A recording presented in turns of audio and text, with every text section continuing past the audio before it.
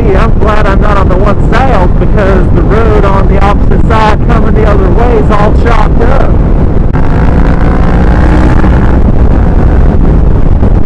Starting to think about needing gas pretty soon. I don't know where, when, or how that's going to happen. Vietnam veterans. I figured there must be a reason that a cemetery out in the middle of nowhere would be so well kept. I'm guessing these are the graves of veterans? I don't even know. I won't speculate. Never mind. These could be anyone's graves. What a creepy looking building. A lot of ancientness here. Should I stop here for gas or just keep on keeping on? I'm not desperate enough yet.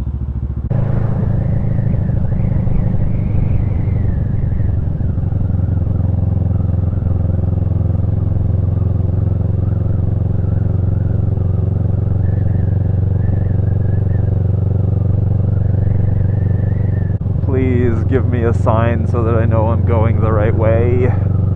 I have no idea where I am. Still haven't seen any signs to let me know this is the right road to be on. Still have no idea if I'm on the proper highway. I haven't seen a sign in like 15 miles. I don't know if this is the one anymore or not. Which is of some concern to me. It's been like I'm, I've been paranoid the whole time because I I don't have GPS and I'm used to traveling by GPS. And I'm trying to have faith in myself a little bit, but when you don't see any signs at all that tell you what route you're on for 15 or 20 or 30 miles, you start to wonder. They don't even have speed limit signs posted on this road. I mean, come on. Come on. What kind of boondock backwater country town is this?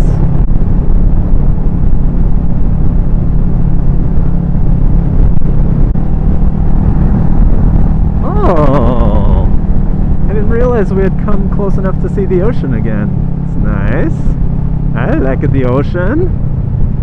What's this? Is this a Valero gas station? Debating whether or not I should stop here. I don't know how long it is till the next gas. Do I have to turn here to stay on the one or no signs? No signs? Great. I have no idea where I'm supposed to go. Highway 1, okay. Good. So, theoretically, I should be able to get another 90 miles or so out of this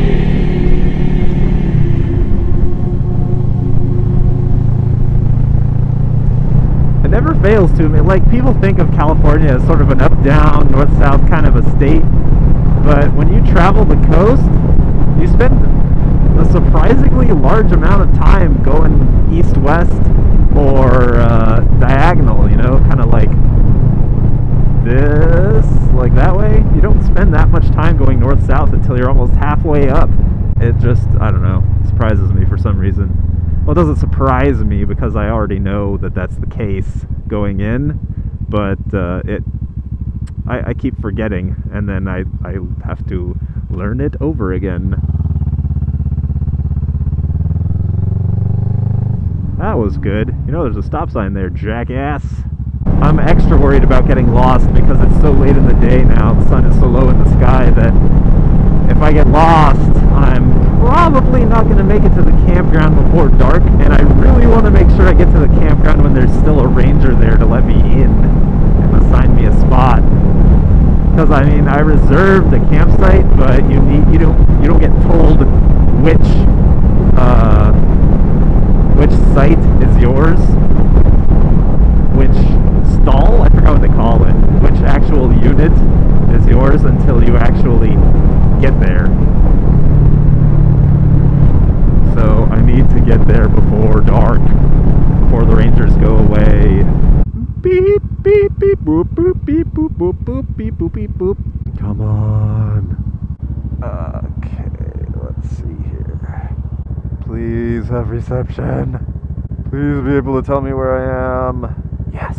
Pismo Beach. Oh, San Simeon. Oh, I'm not that far away, actually, right? Be a bitch. Yeah, okay. 42 minutes. Oh, oh, an hour. Okay. It's getting farther away. That's okay. Well, let's see what all these texts are about. Slow. iPhones are pieces of crap. Oh, sunset's not until 8. I've got plenty of time. Wow. Granted, this iPhone is three generations old and the fourth generation out is almost here, but still, it's like pathetically slow. It's obvious. It's it's painfully, blatantly obvious that the slowdown that this phone is getting is artificial. That it's like with each successive iteration of iOS that comes out, the operating system for the phone, they make it a little bit slower on purpose.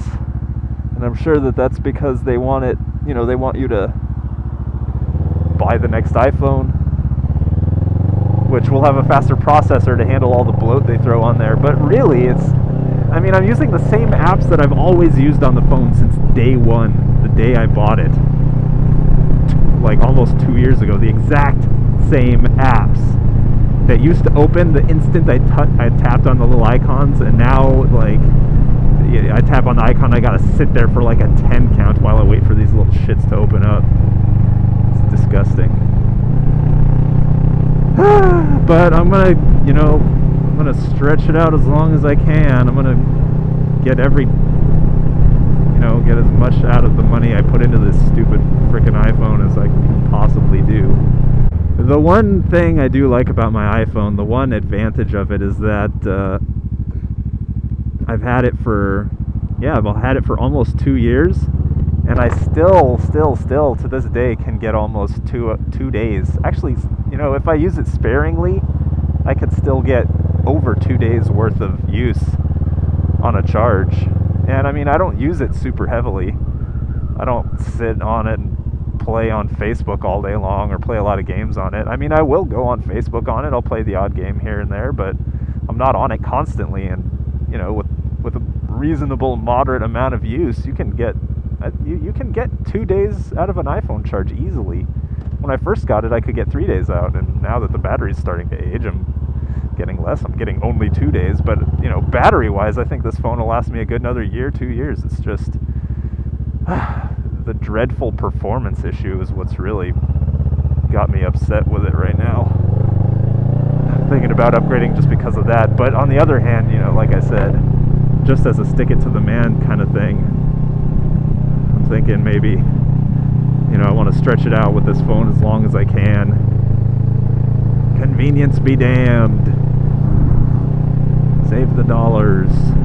Oh, the one merges back with the 101 again here. That makes me sad. What a beautiful scenery.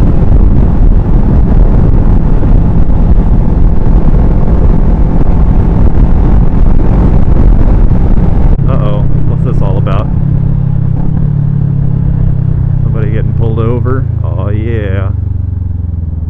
Uh, gotta keep my eye out for a gas station here.